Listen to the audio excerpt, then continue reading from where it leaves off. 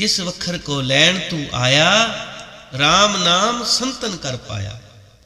ਇਹ ਦੁਕਾਨ ਹੈ ਸੱਚ ਦੀ, ਤੇ ਸਾਡੀਆਂ ਮੰਗਾਂ ਹਨ ਝੂਠੀਆਂ। ਇਸ ਲਈ ਬਾਬਾ ਜੀ ਨੇ ਪਹਿਲਾਂ ਹੀ ਬਾਹਰ ਫੱਟਾ ਲਿਖ ਕੇ ਲਾਇਆ ਹੋਇਆ ਹੈ ਕਿ ਇੱਥੇ ਆਣ ਕੇ ਕੋਈ ਦੁਨਿਆਵੀ ਗੱਲ ਨਹੀਂ ਕਰਨੀ। ਇੱਕ ਨਾਮ ਹੀ ਮੰਗੋ, ਕਿਉਂਕਿ ਜਿੱਥੇ ਨਾਮ ਹੈ, ਉਥੇ ਕੀ ਨਹੀਂ, ਤੇ ਜਿੱਥੇ ਨਾਮ ਨਹੀਂ, ਉਥੇ ਹੈ ਕੀ?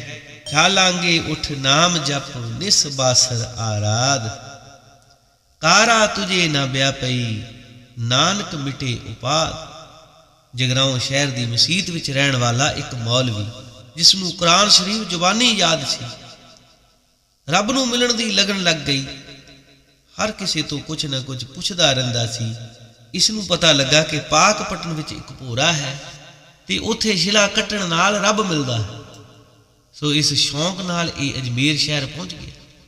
ਤੇ ਉੱਥੋਂ ਪਾਕ ਪਟਨ ਪਹੁੰਚ ਗਿਆ, ਜਿੱਥੇ ਬਾਬੇ ਫਰੀਦ ਦਾ ਦਰਬਾਰ ਹੈ।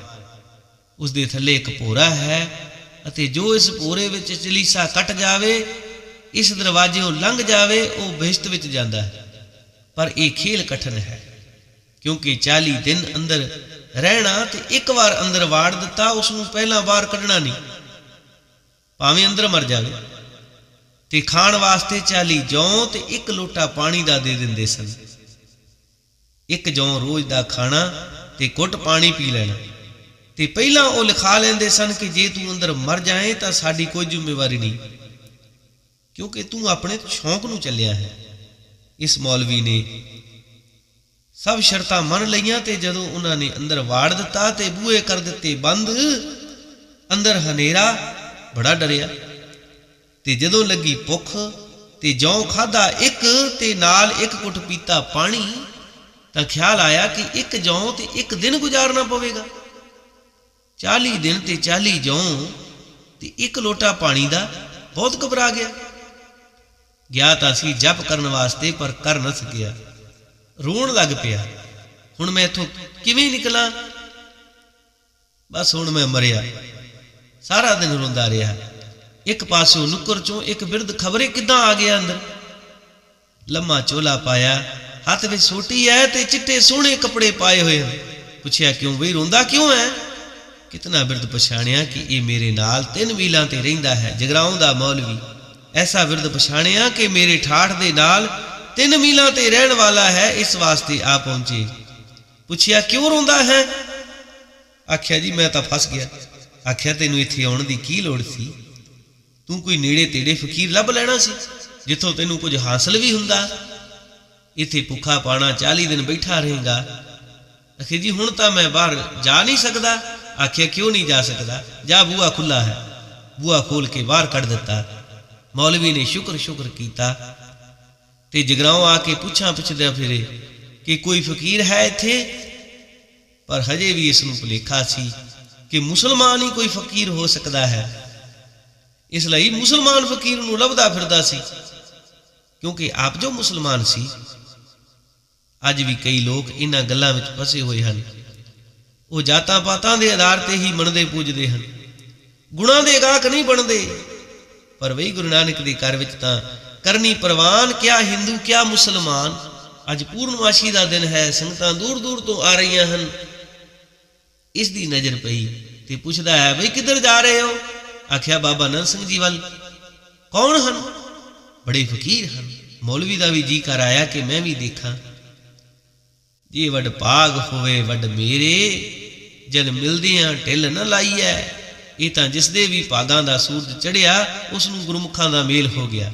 ਅਤੇ ਜਿਸ ਦਿਨ ਸਾਡੇ ਪਾਗਾਂ ਦੇ ਸੂਰਜ ਨੂੰ ਪਾਪਾਂ ਦੇ ਬਦਲਾਂ ਨੇ ਟੱਕ ਲਿਆ, ਉਸ ਦਿਨ ਅਸੀਂ ਮਹਾਂਪੁਰਖਾਂ ਤੋਂ ਵਿਛੜ ਗਏ, ਦੂਰ ਹੋ ਗਏ। ਮੌਲਵੀ ਦਾ ਕੋਈ ਭਾਗਾਂ ਦਾ ਸੂਰਜ ਚੜਿਆ ਸੀ, ਨਾਲ ਟੁਰ ਪਿਆ। ਤੇ ਜਿਸ ਵੇਲੇ ਆ ਕੇ ਬਾਬਾ ਜੀ ਦੇ ਦਰਸ਼ਨ ਕੀਤੇ, ਤਾਂ ਪਛਾਣ ਲਿਆ ਕਿ ਇਹ ਤਾਂ ਉਹੀਓ ਹਨ ਜਿਨ੍ਹਾਂ ਨੇ ਬੂਆ ਖੋਲ ਕੇ ਬਾਹਰ ਕੱਢਿਆ ਸੀ। ਬਾਬਾ ਜੀ ਨੇ ਤੱਕਿਆ ਤੇ ਪੁੱਛਿਆ, ਕਿਉਂ ਬਈ, ਮੌਲਵੀ ਕਿਵੇਂ? ਮੌਲਵੀ ਰੋ ਪਿਆ ਤੇ ਕਹਿਣ ਲੱਗਾ, ਜੀ, ਜਾਣੀ ਜਾਣ। ਅੰਤਰਜਾਮੀ ਹੋ। ਸੰਗਤ ਤਾਂ ਪੁੰਨਿਆਂ ਤੇ ਆਈ ਤੇ ਚਲੀ ਗਈ, ਪਰ ਇਹ ਲੱਗਾ ਚਰਣਾ ਦੇ ਨਾਲ। ਇਸ ਨੇ ਨਿਤਨੇ ਬਣਾ ਲਿਆ, ਰੋਜ਼ ਆਉਣਾ ਤੇ ਹਰ ਰੋਜ਼ ਜਾਣਾ।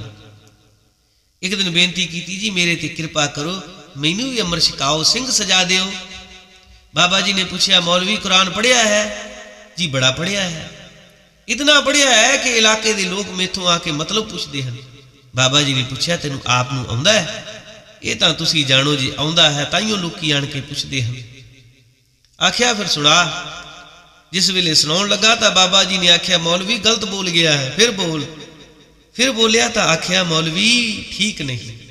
ਅੱਖਰ ਠੀਕ ਨਹੀਂ ਬਣਿਆ? ਮੌਲਵੀ ਨੇ ਆਖਿਆ, ਜੀ, ਸਾਰੀ ਉਮਰ ਹੋ ਗਈ ਹੈ। ਪੜ੍ਹਦੇ ਆਂ ਤੇ ਇਹ ਮਤਲਬ ਹੀ ਨਿਕਲਦਾ ਤਾਂ ਬਾਬਾ ਜੀ ਨੇ ਆਪ ਪੜ੍ਹ ਕੇ ਸੁਣਾਇਆ ਅਤੇ ਦੱਸਿਆ ਕਿ ਇਸ ਦਾ ਇਹ ਮਤਲਬ ਨਿਕਲਦਾ ਹੈ। ਜਿਸ ਵੇਲੇ ਮਤਲਬ ਦੱਸਿਆ ਤਾਂ ਚਰਨਾਂ ਨਾਲ ਲਿਪਟ ਗਿਆ। ਆਖਿਆ, ਜੀ, ਮੇਰੇ ਤੇ ਕਿਰਪਾ ਕਰੋ। ਬਾਬਾ ਜੀ ਕੋਲ ਗੁਟਕਾ ਪਿਆ ਸੀ ਸੁਖਮਨੀ ਸਾਹਿਬ ਦਾ। ਉਰਦੂ ਦਾ ਪਤਾ ਨਹੀਂ ਪਿਆ ਸੀ ਜਾਂ ਬਾਬਾ ਜੀ ਨੇ ਦ੍ਰਿਸ਼ਟੀ ਦੇ ਨਾਲ, ਦ੍ਰਿਸ਼ਟੀ ਦੇ ਨਾਲ ਬਣਾ ਲਿਆ। ਕਿਉਂਕਿ ਮਹਾਂਪੁਰਸ਼ਾਂ ਦੀ ਦ੍ਰਿਸ਼ਟੀ ਹੁੰਦੀ ਹੈ?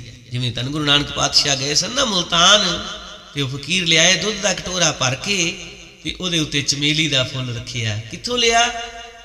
ਬਾਬੇ ਕੱਢ ਕਰ ਬਗਲ ਤੇ। ਚਮੇਲੀ ਦੁੱਧ ਵਿੱਚ ਮਿਲਾਈ।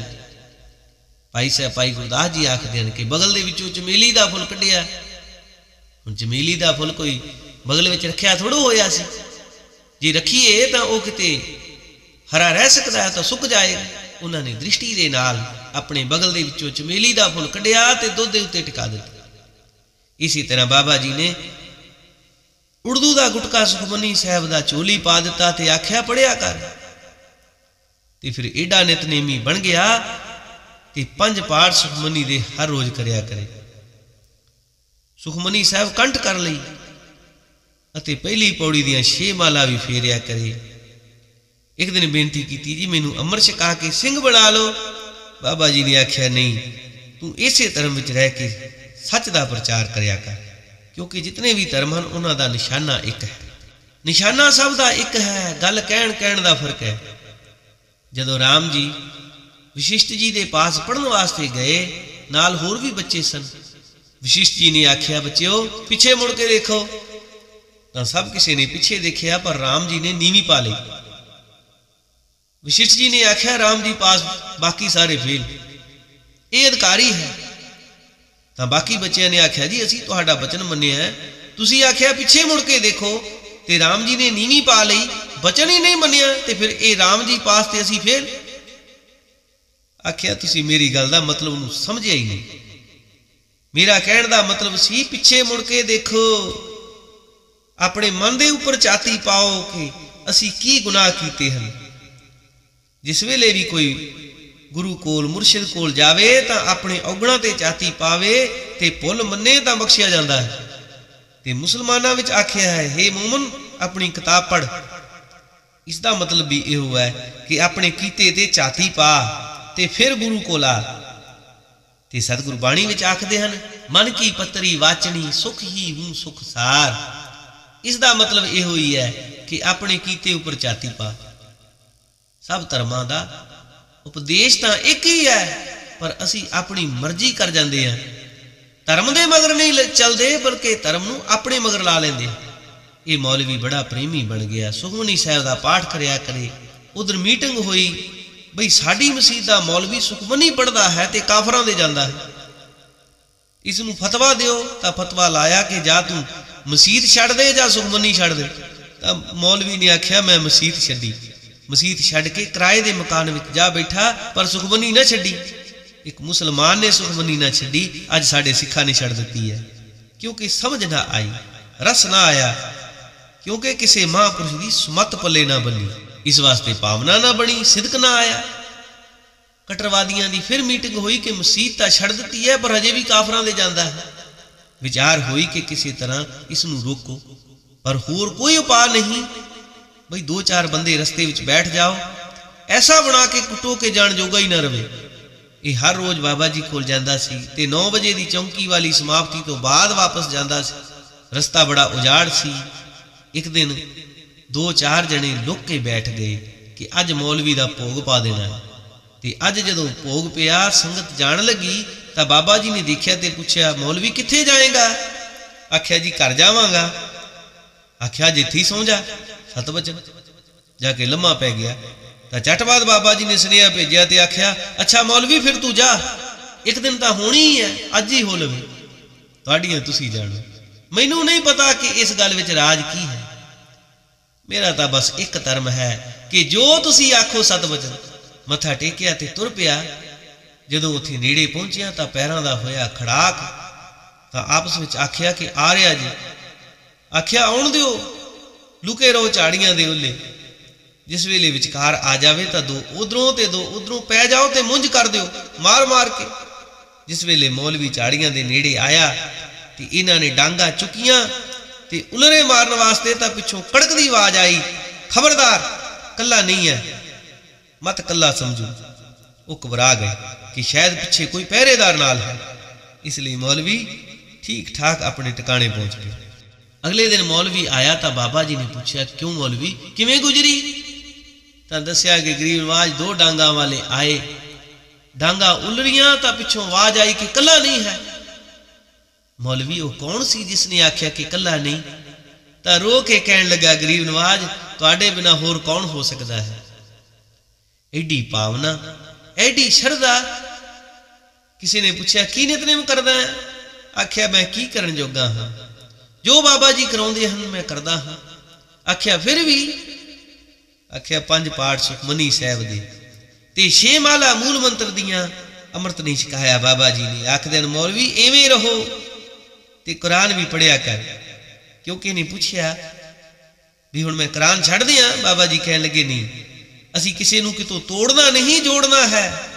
ਧਰਮ ਸਭ ਬਰਾਬਰ ਹਨ ਇੱਕੋ ਹੀ ਗੱਲ ਹੈ, ਮਤਲਬ ਵੀ ਇੱਕ ਹੈ। ਸਭ ਆਖਦੇ ਚਾਰ ਪੁਕਾਰੇ ਨਾ ਤੂੰ ਮਾਨੇ। ਚੌ ਵੇਦਾਂ ਦਾ ਆਖਿਆ ਤੂੰ ਨਾ ਮੰਨਿਆ। ਖੜ ਵੀ ਏਕਾ ਬਾਤ ਵਖਾਨੇ। ਸ਼ੀ ਸ਼ਸਤਰਾਂ ਨੇ ਵੀ ਉਹ ਗੱਲ ਆਖੀ। 10 ਅਸ਼ਟੀ ਮਿਲ ਏਕੋ ਕਹਿਆ। 18 ਪ੍ਰਾਣਾ ਨੇ ਵੀ ਇਹੋ ਆਖਿਆ। ਤਾਂ ਵੀ ਜੋਗੀ ਭੇਦ ਨਾ ਲਿਆ ਤੂੰ ਤਾਂ ਵੀ ਨਾ ਸਮਝਿਆ। ਵੇਦਾ ਮੈਂ ਨਾਮ ਉੱਤਮ ਹੈ, ਸੋ ਸੁਣੇ ਨਹੀਂ। ਫਿਰੇ ਜਿਉ ਬੇਤਾਲਿਆ। ਬੇਤਾਲਾ ਹੋਇਆ ਫਿਰਦਾ ਹੈ। ਕੋਈ ਬੇਤਾਲਾ ਗਾਵੇ, ਚੰਗਾ ਨਹੀਂ ਲੱਗਦਾ। ਪਰ ਅਸਲ ਬੇਤਾਲਾ ਉਹ ਹੈ ਜਿਸ ਨੇ ਸਾਈਂ ਨੂੰ ਨਹੀਂ ਜਾਣਿਆ ਗੱਲ ਇੱਕੋ ਹੈ। ਕੋਈ ਅੱਲਾ ਕਹੇ, ਕੋਈ ਰਾਮ ਆਖੇ, ਕੋਈ ਵਾਹਿਗੁਰੂ ਆਖੇ। ਘਰ ਵਿੱਚ ਇੱਕ ਬਜ਼ੁਰਗ ਹੈ। ਕਿਸੇ ਦਾ ਬਾਪੂ ਹੈ, ਕਿਸੇ ਦਾ ਦਾਦਾ ਹੈ, ਕਿਸੇ ਦਾ ਫੁੱਫੜ ਹੈ। ਕਿਸੇ ਦਾ ਮਾਸੜ ਹੈ, ਕਿਸੇ ਦਾ ਚਾਚਾ ਹੈ, ਕਿਸੇ ਦਾ ਤਾਇਆ ਹੈ। ਬਜ਼ੁਰਗ ਇੱਕ ਹੈ, ਪਰ ਨਾਮ ਵੱਖੋ ਵੱਖਰੇ ਹਨ। ਇਸੇ ਤਰ੍ਹਾਂ ਰੱਬ ਇੱਕ ਹੈ ਉਸ ਦੇ ਨਾਮ ਵੱਖੋ ਵੱਖਰੇ ਹਨ। ਫਰੀਦਾ ਅਮਲ ਜੇ ਕੀਤੇ ਦੁਨੀ ਵਿੱਚ, ਸਾ ਆਏ ਕੰਮ। ਪਰ ਇਹ ਚੰਗਿਆਈਆਂ ਦਾ ਸਬੂਤ ਕੀ ਹੈ? ਕਿ ਸਾਡੇ 'ਚ ਕੋਈ ਚੰਗਿਆਈ ਆਈ ਹੈ? ਸਹਿਬ ਆਖਦੇ ਨੇ, ਹਾਂ। ਨਿਮਰਤਾ ਧਾਰ ਲਓ, ਸਭ ਚੰਗਿਆਈਆਂ ਆਪੇ ਆਣ ਕੇ ਨਿਵਾਸ ਕਰ ਜਾਣਗੀਆਂ। ਪਾਣੀ ਉੱਥੇ ਖੜੋਵੇ, ਜੇ ਕੋਈ ਚਾਹੁੰਦਾ ਹੈ ਤਾਂ ਥਾਂ ਨੂੰ ਪੁੱਟ ਕੇ ਨੀਵਾ ਕਰ ਲਵੇ। ਪਾਣੀ ਨੂੰ ਸੱਦਣ ਬੁਲਾਉਣ ਦੀ ਲੋੜ ਨਹੀਂ ਕਿ ਤੂੰ ਆ ਤੇ ਇੱਥੇ ਖੜੋ। ਪਾਣੀ ਨੇ ਤਾਂ ਖੜੋਣਾ ਹੀ ਉੱਥੇ ਹੈ, ਜਿੱਥੇ ਥਾਂ ਨਹੀਂ ਵੀ ਹੈ। ਜੇ ਉੱਚਾ ਟਿੱਬਾ ਹੋ ਗਿਆ, ਭਾਵੇਂ ਕਿਤਨਾ ਮੀਂਹ ਪਵੇਗਾ, ਇੱਕ ਬੂੰਦ ਵੀ ਨਹੀਂ ਠਹਿਰ ਸਕਦੀ। ਪਾਣੀ ਕਿੱਥੇ ਜਾ ਖੜੋਂਦਾ ਜਿੱਥੇ ਨੀਵੀਂ ਥਾਂ ਹੋਵੇ, ਇਸੇ ਤਰ੍ਹਾਂ ਗੁਰੂ ਨਾਨਕ ਪਾਤਸ਼ਾਹ ਦੀਆਂ ਬਰਕਤਾਂ, ਬਖਸ਼ੀਸ਼ਾਂ ਕਿੱਥੇ ਨਿਵਾਸ ਕਰਦੀਆਂ ਹਨ, ਜਿੱਥੇ ਨਿਮਰਤਾ ਹੋਵੇ। ਧੰਨ ਬਾਬਾ ਨਾਨਕ ਸਿੰਘ ਜੀ, ਕਿੰਨੀ ਕਮਾਈ ਦੇ ਮਾਲਕ ਸਨ। ਫਿਰ ਵੀ ਟੋਆ ਪੁੱਟ ਕੇ ਸੰਗਤ ਤੋਂ ਨੀਵੇਂ ਹੋ ਕੇ ਬੈਠਦੇ ਸਨ। ਕਹਿੰਦੇ ਸਨ, ਮੈਂ ਸੰਗਤ ਦੀ ਬਰਾਬਰੀ ਕਰਨ ਜੋਗਾ ਨਹੀਂ। ਚਾਹੁੰਦੇ ਤਾਂ ਰਾਜੇ ਮਹਾਰਾਜੇ ਪਾਲਕੀ ਚੁੱਕੀ ਫਿਰਦੇ। ਪਰ ਨਹੀਂ, ਜਦ ਵੀ ਰੁੰਨੇ ਤੇ ਆਖਿਆ, ਉਹ ਮੈਂ ਕਿੱਲੇ ਕਰਨ ਵਾਲਾ, ਮੈਂ ਤਾਂ ਅਜੇ ਸਿੱਖ ਵੀ ਨਹੀਂ ਬਣਿਆ। ਆ ਬੇਨਤੀਆਂ ਪਏ ਕਰਦੇ ਆ ਕਿ ਕਿਧਰੇ ਗੁਰੂ ਨਾਨਕ ਸੱਚਾ ਪਾਤਸ਼ਾਹ ਮੈਨੂੰ ਆਪਣਾ ਸਿੱਖ ਬਣਾ ਲਵੇ, ਤਾਂ ਉਸ ਦੀ ਮਿਹਰ ਹੈ, ਸਾਡਾ ਤਾਂ ਇਤਨਾ ਵੀ ਜਪ ਤਪ ਨਹੀਂ, ਕਿ ਅਸੀਂ ਉਸ ਦੇ ਸਿੱਖ ਵੀ ਬਣ ਸਕੀਏ। ਬਾਬਾ ਅਨੰਦ ਸਿੰਘ ਜੀ ਨੇ ਸਾਰੀ ਉਮਰ ਸਾਧੂ ਦੀ ਮਹਿਮਾ ਦਾ ਸ਼ਬਦ ਨਹੀਂ ਸੁਣਿਆ। ਹਾਲਾਂਕਿ ਗੁਰਬਾਣੀ ਹੈ, ਪਰ ਕੋਈ ਆਣ ਕੇ ਪੜਦਾ ਸੀ ਤਾਂ ਕਹਿੰਦੇ ਸਨ ਭਈ ਕੋਈ ਗੁਨਾਹ ਬਖਸ਼ਾਉਣ ਵਾਲੀ ਗੱਲ ਕਰ ਇਹ ਮਨ ਤਾਂ ਅੱਗੇ ਪਾਪੀ ਹੈ, ਕੀ ਪਤਾ ਸਮਝੇ ਕਿ ਮੈਂ ਹੀ ਸਾਧ ਹਾਂ। ਇਸ ਵਾਸਤੇ ਮਨ ਨੂੰ ਹਰ ਵੇਲੇ ਉਡਾਈ ਵਜਾਈ ਰੱਖੇ, ਹਰ ਵੇਲੇ ਇਸ ਉੱਤੇ ਪੈਂਦੀਆਂ ਰਹਿਣ। ਬਾਬਾ ਜੀ ਨੇ ਆਪਣੇ ਆਪ ਨੂੰ ਸੰਤ ਨਹੀਂ ਕਹਾਇਆ। ਇਹ ਹੁਣ ਬਾਬਾ ਕੋਈ ਮਰਾਤਬਾ ਤਾਂ ਨਹੀਂ? ਬਾਬਾ ਤਾਂ ਅਸੀਂ ਆਮ ਬਜ਼ੁਰਗ ਨੂੰ ਕਹਿ ਦਿੰਦੇ ਹਾਂ। ਬਾਣੀ ਵਿੱਚ ਤਾਂ ਸੰਤ ਦੀ ਵਡਿਆਈ ਹੈ, ਬਾਬੇ ਦੀ ਨਹੀਂ। ਸੋ ਗੁਰਮੁਖੋ, ਸ਼ੁਕਰ ਕਰੋ। ਇਸ ਸਮੇਂ ਵਿੱਚ ਆਏ ਹੋ, ਜਿਸ ਸਮੇਂ ਤਨ ਗੁਰੂ ਨਾਨਕ ਪਾਤਸ਼ਾਹ ਦਾ ਰਾਜ ਹੈ। ਇਸ ਸਮੇਂ ਵਿੱਚ ਨਾਮ ਦਾ ਝੰਡਾ ਝੂਲ ਰਿਹਾ ਹੈ। ਸ਼ੁਕਰ ਹੈ ਜੋ ਬਾਬਾ ਜੀ ਦੇ ਸਮੇਂ ਵਿੱਚ ਆਏ ਹਾਂ। ਫਿਰ ਸ਼ੁਕਰ ਹੈ ਜੋ ਬਾਬਾ ਜੀ ਨੇ ਚਰਨਾਂ ਨਾਲ ਲਾਇਆ ਹੈ। ਵੀ ਸ਼ੁਕਰ ਹੈ ਜੋ ਬਾਬਾ ਜੀ ਨੇ ਕਿਰਪਾ ਕਰਕੇ ਇਹ ਦ੍ਰਿੜ ਕਰਾਇਆ ਹੈ ਕਿ ਨਾਮ ਬੀਜ ਲੋ ਕਰਮਾ ਵਾਲਿਓ। ਨਾਮ ਬੀਜ ਲੋ ਕਰਮਾਂ ਵਾਲਿਓ, ਆਗੀ ਰੁੱਤ ਬੀਜਣੇ ਦੀ। ਨਾਮ ਬੀਜ ਲੋ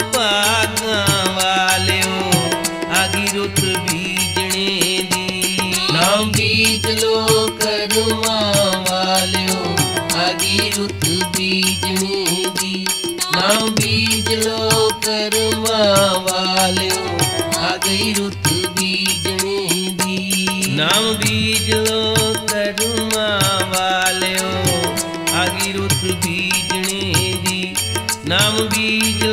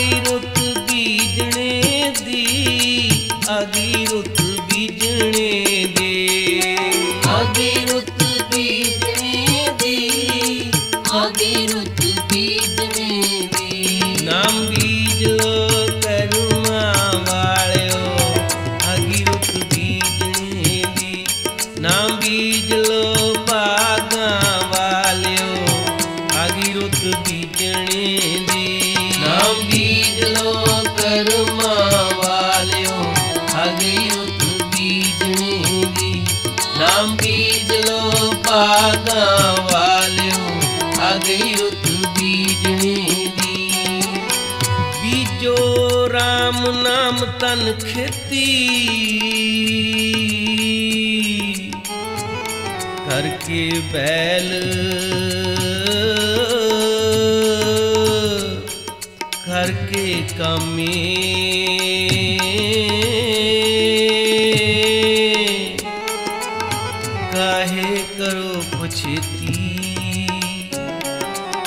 ਇਸ ਖੇਤੀ ਜੇ ਕਾਟਾ ਹੋਵੇ ਤਾਂ ਪੁੱਛ ਲੋ ਸੰਤਾ ਸੇਤੀ ਆਗੀ ਰੁੱਤ ਬੀਜਣੇ ਦੀ ਨਾਮ ਬੀਜ ਲੋ ਕਰਮਾਂ ਵਾਲਿਓ ਆਗੀ ਰੁੱਤ ਬੀਜਣੇ ਦੀ ਨਾਮ ਬੀਜ ਲੋ ਕਰਮਾਂ ਵਾਲਿਓ ਆਗੀ ਰੁੱਤ ਬੀਜਣੇ ਦੀ ਨਾਮ ਬੀਜ ਲੋ ਭਾਗਾਂ ਵਾਲਿਓ ਆਗੀ ਰੁੱਤ ਬੀਜਣੇ ਦੀ। ਆ ਗਈ ਰੁੱਤ ਬੀਜਣੇ ਦੀ ਆ ਗਈ ਰੁੱਤ ਬੀਜਣੇ ਦੇ। ਆ ਗਈ ਰੁੱਤ ਬੀਜਣੇ ਦੀ ਆ ਗਈ ਰੁੱਤ ਬੀਜਣੇ ਦੀ। ਉਹਦੀ ਆ